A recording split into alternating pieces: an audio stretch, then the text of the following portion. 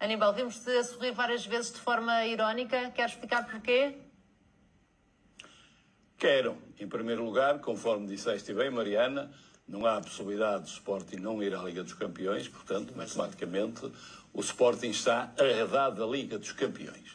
Está arredado da Liga dos Campeões tendo sido grosseiramente prejudicado. O que é que me faz sorrir e que me impressiona? Foi ver Federico Barandas aos beijinhos e abraços com Rui Costa, o que me parece muito bem, e o Sporting a demorar quase 24 horas para reagir, quando, contra o Futebol Clube Porto, sem razão, faz conferência de imprensa, vira tudo ao contrário, uma gritaria tremenda. Agora, veio dizer, enfim, é melhor ouvirmos as comunicações do VAR, e, portanto, isto não é o rugido de um leão, isto é um gato e um gato manso.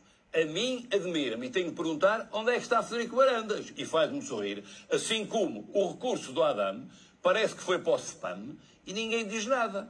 Eu não, porque, com todo o respeito ao, ao guarda-redes suplente do, do Sporting, eu acredito que aquele segundo golo que foi mal validado, que se estivesse lá o Adam, provavelmente não era golo.